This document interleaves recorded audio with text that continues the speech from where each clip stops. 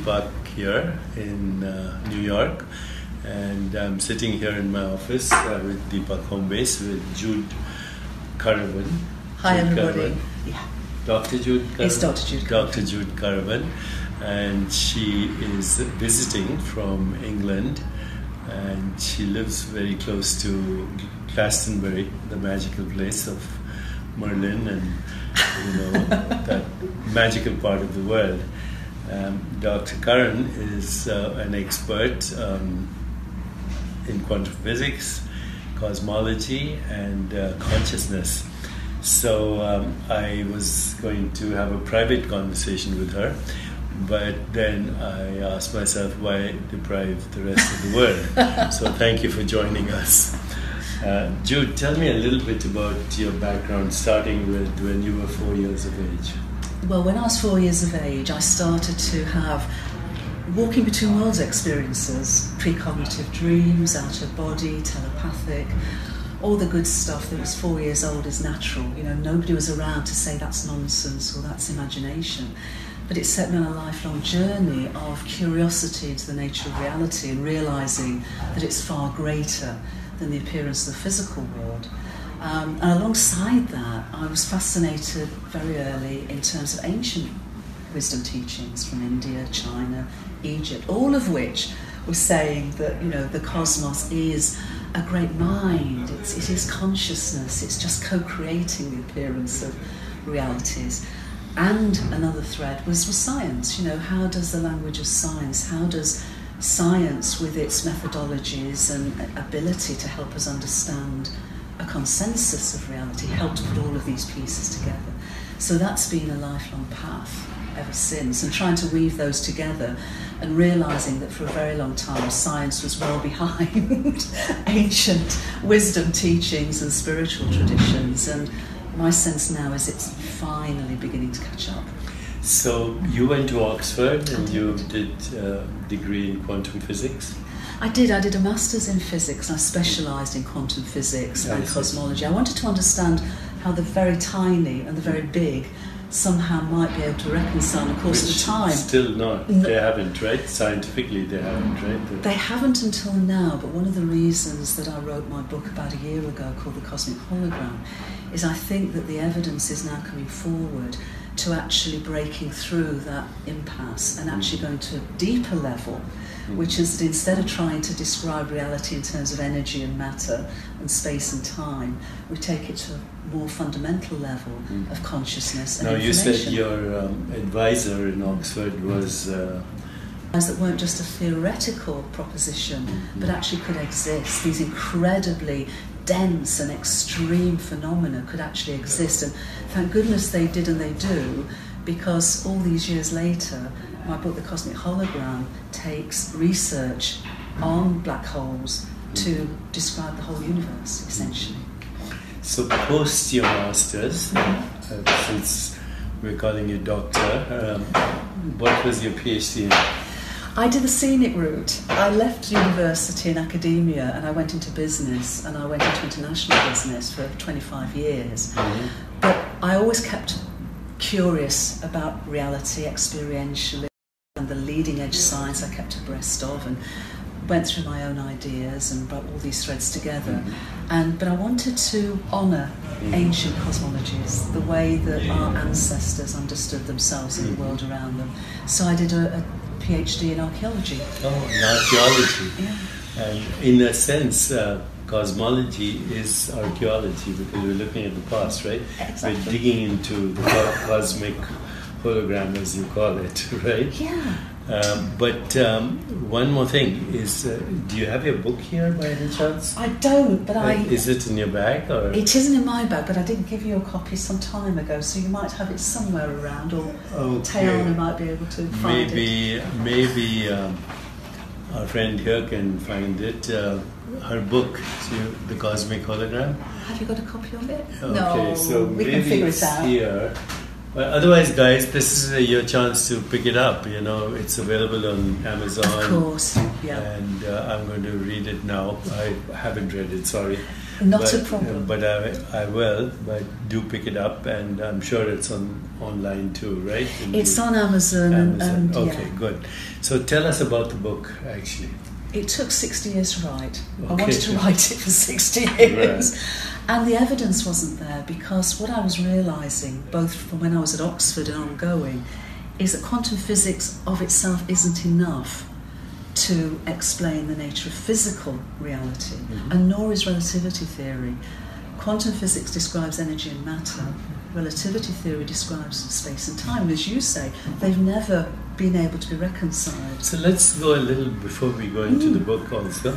Would you say that subatomic particles, um, even though people think about them as material entities uh, because they're units of mass and energy, that actually they are human constructs for modes of knowing. Nobody's ever seen uh, a sub- subatomic particle or what you no, they see on haven't. tracks, right? Absolutely. So And- and- when you do these smashings in Hadron Collider Yeah. and you see something Yeah. and you decide to call it a Higgs boson, Yeah. uh, by the time you call it a Higgs boson or anything, it's not there. It's gone. It's gone. Yeah. So it's a momentary uh, appearance Mm-hmm. uh, of uh, an energetic um particle. I think that's really helpful, but I don't think it goes far enough. Oh, good. And I think the problem is what we understand as energy and matter. hmm And what's been realised, as you say, is that what we call physical reality is incredibly ephemeral. Mhm. The more we dig down, the more ephemeral it, it is. It is, you know, yes. 99.99999. But the, the interesting thing that I think really is shedding new light on how we could describe physicalised reality is a realisation that information, exactly the same digital information, That we're using right now. Exactly, Yeah, yeah, exactly. okay. Because in our technologies, we can take a photograph, we can pick up a microphone and take sound and, and content and visual appearances and describe them in digitized form. Any object we can do that with. What we're realizing more and more is our universe does that in reverse. It takes the information, not random data, but informational dynamic patterns of relationship, and from them is expressed as energy and matter, and indeed space time, but in complementary ways. And so, what is happening now is the ability to restate the laws of physics as algorithms of information, essentially instructing our universe how to exist and evolve as a unified entity. But of course, it's all consciousness. Of course. It's all The very fact that the word is good, information, it almost suggests to give rise to form. Inform, and I use a hyphen. Exactly. Into inform. Yeah. So consciousness is informing It's informing. itself as the universe. Yes, and so the Consciousness knows itself as the Exactly. universe. So I describe our universe as a universe soul, in a sense, a finite thought form in the infinite and eternal mind of the cosmos. Mhm. So just as we have the ground of all being Mhm. as the infinite eternal cosmos, then thought forms as universes Mhm. arise as unified entities. So they exist and they evolve as unified entities. So starting 30 Just as our own mind evolves. Exactly. Or that species evolves. Exactly. Right? Exactly. So I've always thought, and I don't want to get sidetracked, we can come to my questions later. Complete the whole story about how you think the you know uh, theories of relativity Can come together. uh, and quantum physics, uh, how they come together in your view. Well, I go back about 150 years because two of the most foundational laws of physics are two laws of thermodynamics. Mhm. And the two laws of thermodynamics were derived by uh, a researcher called Ludwig Boltzmann. Yes. And the first law says that the energy of a closed system always is conserved, it just changes form. If we take that, but we now go on 150 years and we realise that energy and matter are equivalent, Mhm. and the latest cosmological view that is supported by Stephen Hawking is that our universe is finite and closed. So we can restate that first law of thermodynamics and more, most importantly still, that we can say that information can be expressed as energy and matter. We go from the energy of a closed system is conserved through to a first law of information or infodynamics that the energy matter of our universe Is is conserved. So, uh, what you're saying is information is never lost. Are you saying that? When it's expressed as energy and matter, Mm. it just gets changed around. But that isn't enough because why are the two laws of thermodynamics? I mean, Einstein always said the universe is as simple as it can be, but no simpler. So why two? And it's crucial because that first law, in describing information as energy matter, is essentially a simple version of quantum physics because that's what it does. The second law, though, is key because the second law of thermodynamics started by saying that the entropy of a closed system always increases through time. And at Boltzmann's era, entropy was considered to be the microstates of a system, not order disorder, but the number of microstates. So, for example. But then explain. Sorry to interrupt. no, not. But see, entropy is a one-way street, but it's Yes. punctuated by life forms. And that's part of the misunderstanding because this idea of syntropy and negentropy Mhm. was coming from this sense of order disorder. So Mhm. a, a, a human body is ordered, Mhm. syntropy. Mhm. Chaos is disordered, negentropy. Mhm. But it misunderstood Boltzmann's original perception, which is we're not talking about order disorder, we're talking about simplicity and complexity. Good. And we're talking about the increase now entropy understood as en- information entropy as the informational content of a system. Mhm. So we start with the second law the entropy of a closed system always increases through time. We then look at relativity, which equates space and time. We then recognize our universe as a closed system. We then recognize it began in its simplest form, its lowest informational entropy. And that informational entropy has been increasing every moment As complexity, as complexity, as evolution. as evolution. Because the first law allows our universe to exist, the second allows it to evolve. And it's actually describing entropy as informational entropy, which essentially always increases through space time. And that's a simple description of relativity theory.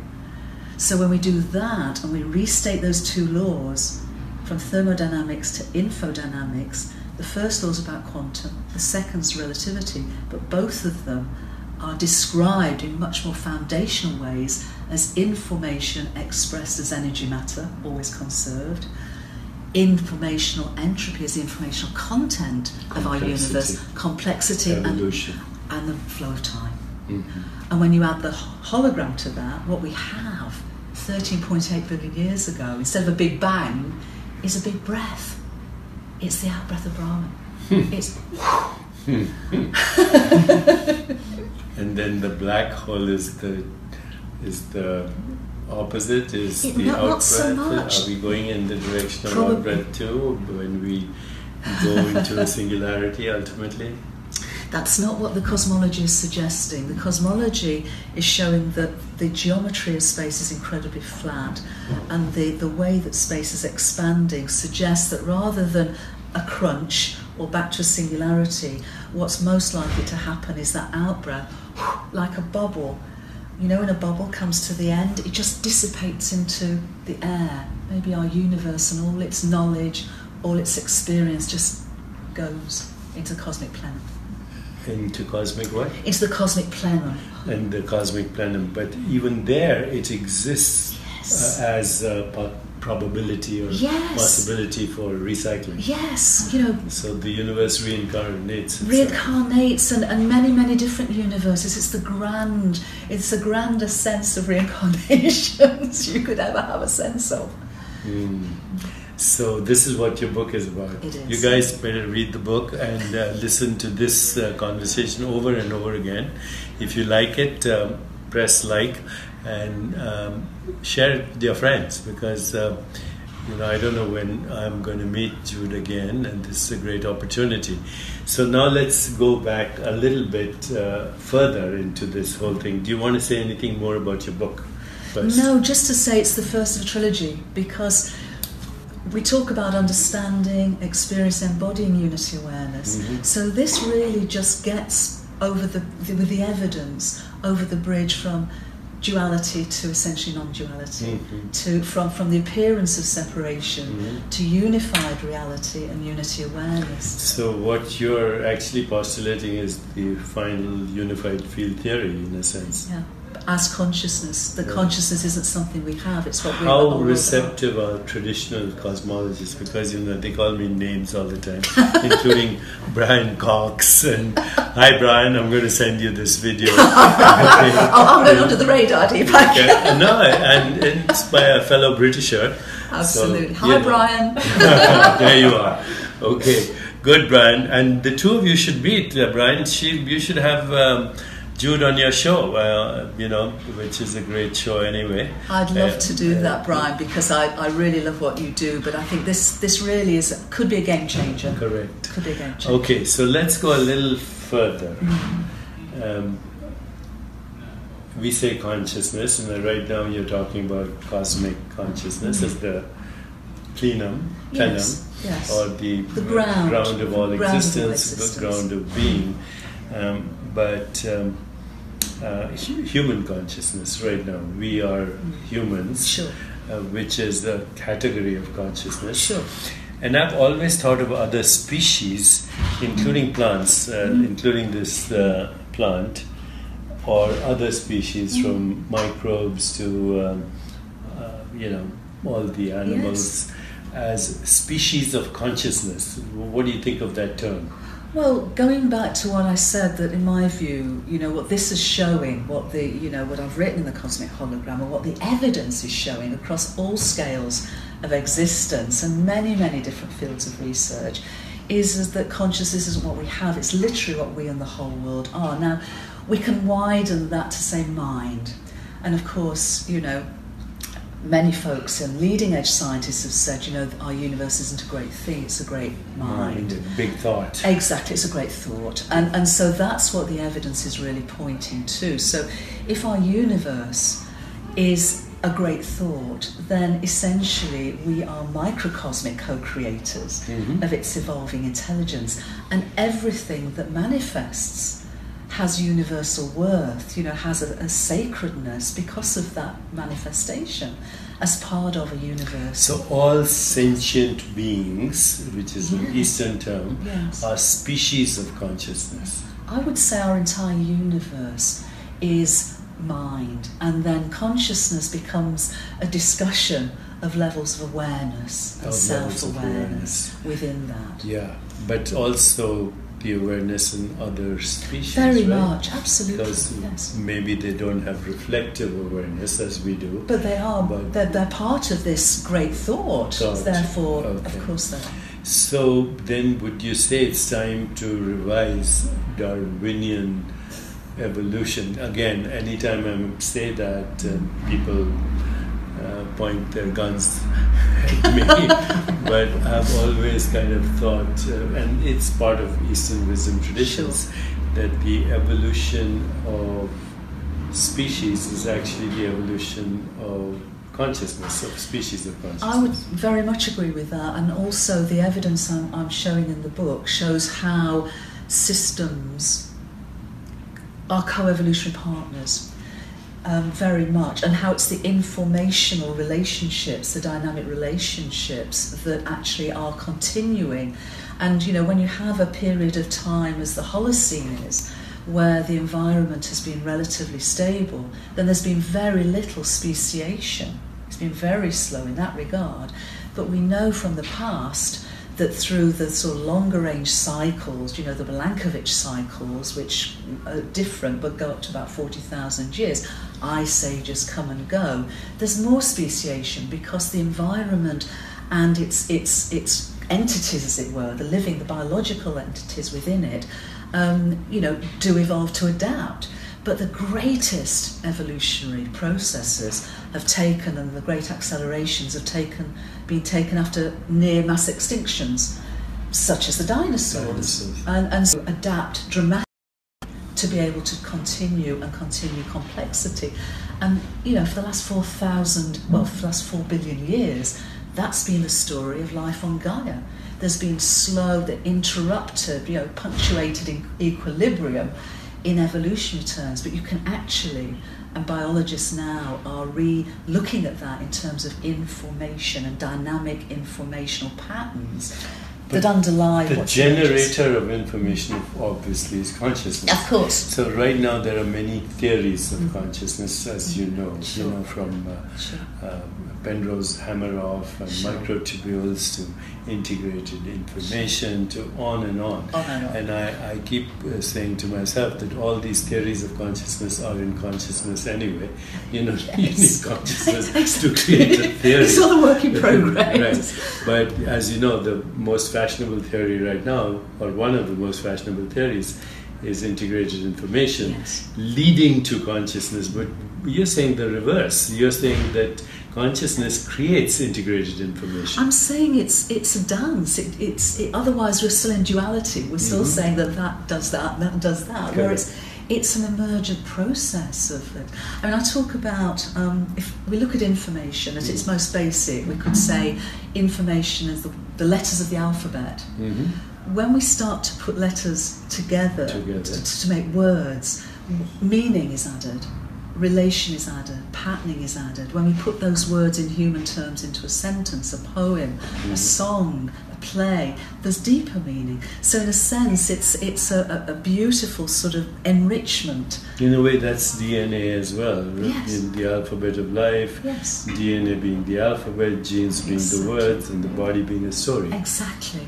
And also this sense of, and this is really, you know, um, I wouldn't say speculative in terms of its totality, but it's less evidentially based at the moment. But it seems that that information, there's also a pull as well as a push. Mhm. There's also a sort of a, a, a potential, Mhm. a potentiality of the template, which is emergent. Mhm. So there is a sort of a higher level coherence within evolutionary processes. Is there feedback? There seems to be, but it's still a, a movement from simplicity to And complexity. in almost like a synchronistic movement, holographically. Exactly. Exactly. A synchronistic movement. So, you know, um, this is great. It's, it's the best story um, of evolution, cosmology that I've heard in recent times. But it's still a story. Would you agree that Yes. all stories, including scientific stories, are models? They're not ultimate reality, although they point to the ultimate reality. Yeah, I think all of this is a work in progress. I think one thing that is important now is that we've had this dichotomy between spiritual traditions and that deep sort of inner knowingness of interconnectedness, Mhm. and yet a mainstream scientific paradigm that said, no, no, no, no, everything's separate and essentially our universe is meaningless. Mhm. The evidence, and this is why it's taken me 60 years to write this book, um, is that the evidence is now in across, as I said, all scales of existence and many fields. This isn't just about physics. No, but the evidence is in, but nobody still, or very few people are pointing to consciousness as the fundamental. But this is what the book does. And, and so, what I'm hoping is that by bringing the scientific evidence that now does reconcile with spiritual traditions, that we can literally, instead of coming from a place of separation and trying to find some ways of coming together, we could turn around and say, actually, you know, our universe is a great thought within an infinite cosmos, unified reality. So, how do we understand, experience, and embody unity awareness? Because I'm a healer as well, and I know that all our, you know, the sustainable development goals that the UN put together, which is an amazing achievement, are attempts to deal with our dysfunctional behaviours that are themselves symptoms of our collective dis-ease of a fragmented perspective. Mhm. So if we can do all we can with that, but if we can go to the basis, and you're a healer too, you know that unless you deal with the cause of a dis-ease, it will find other ways of creating symptoms. This hopefully could be a game changer of actually healing our fragmented perspectives. And it is a point too, it is a work in progress. Mhm. But for the first time, scientific evidence is so compelling that information and therefore consciousness is the grounding of everything. And the appearance of our universe emerges as a co creative, dynamic existence and exploration and experiencing evolving intelligence. It's beautiful. Now, let me share with you something that I try with other people, and I'm not going to experiment with you, but I'm, gonna, I'm just You're going not going to sort of hurt me, no, I'm you? not, but you know, if I ask somebody, what's this? Mm. They'll say it's a candle. If I ask them, um, what is this? They'll say it's a plant. What's this? A watch. This is a hand. Mm. And this is a shirt. This is a body. This is a nose. This is a face. But before we can say that, point to this object. Mm. Before we can do that and call it a candle, Mm. it's an experience. Yeah, And of course, it's an experience in consciousness. yeah, And as the experience we call seeing, this is just a shape hmm and a color and uh, a form. yeah. Right? Yes. mhm, The word candle is a human construct Mhm. for that experience. mhm. Yeah.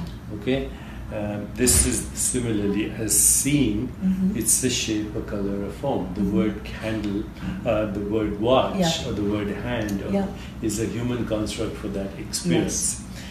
So, basic experience is a sensation Mhm, or a perceptual experience in Mhm. consciousness. mhm. And it's also species specific because this would not be the, ex- you know, a snake wouldn't know this as this experience that we have. Have a very different experience, experience. in terms of well, all those sensory. So yeah. everything that we call physical reality Yeah. is a species-specific experience in consciousness. Yes. But humans have the ability to reify that evanescent sensation because these sensations are very evanescent. You know, Yes. like seeing is every act of perception is a creation. Exactly. I look this way, I look this way, and I create this experience in consciousness. And if we actually kind of dumb down the words that we give to experiences, whether it's seeing or mm-hmm. hearing or this, you ultimately end up with this conclusion that what we call matter Yeah.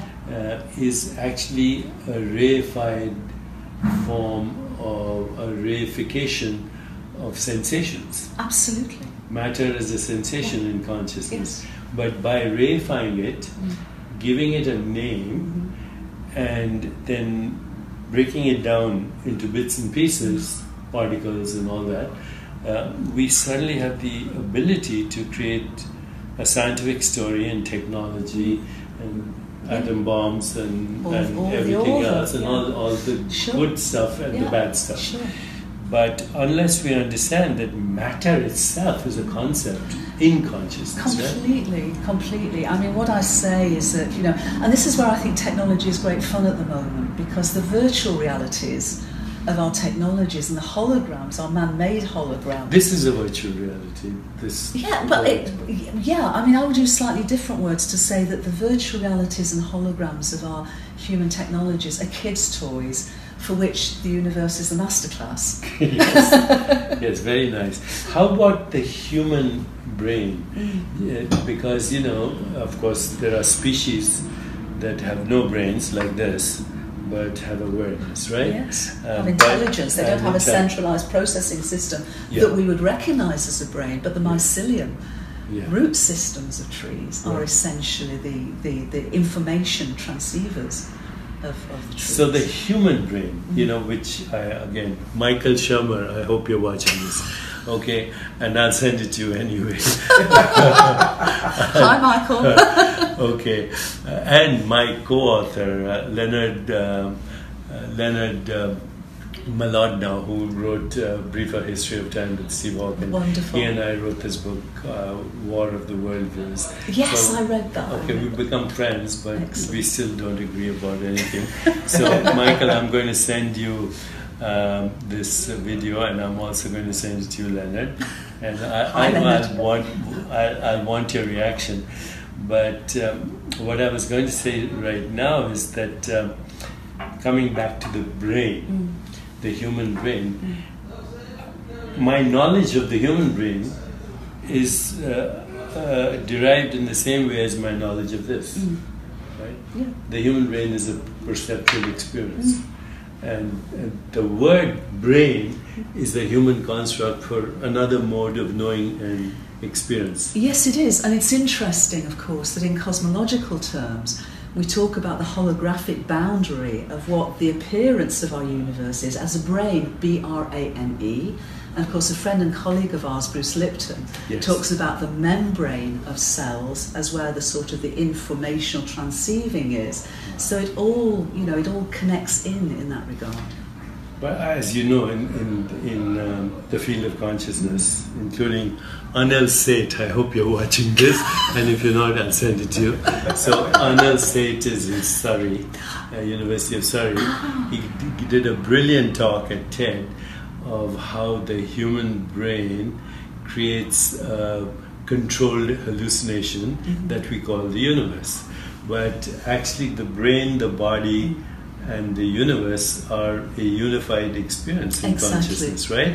Yes. So, where I'm going is, uh, I'm suggesting that the brain is not the producer of consciousness, but another participant in your Indeed, hologram. a transceiver as part of a, a, a human template of that microcosmic co-creativity and experience. and and uh, we are forced to talk in dualistic terms because that's how language is. it is. But actually, the human brain, the human body, the human All mind, of the- all the- and all all the other is- brains and bodies are part of unified. this uh, Exactly. unified, evolving Exactly. system in consciousness. Exactly. Well, if you haven't had a good experience by right now, then I would say your humanity is incomplete.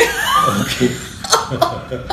I didn't say that. please, uh, so you need to read the book, and you need to listen to this over and over again, and see it over and over again. And uh, Jude, it's a great privilege to meet you, but uh, we shall meet again. I I have a conference every other year called Sages and Scientists, and I'm putting it together now, so mm. I'll, I'll be reaching out to you. That would be wonderful. I'd love to be part Okay. of that. Thank you. Thank you very much. Thank you, Deepak. Thank Thanks, you. everyone. Thank Thanks, you. Tiana.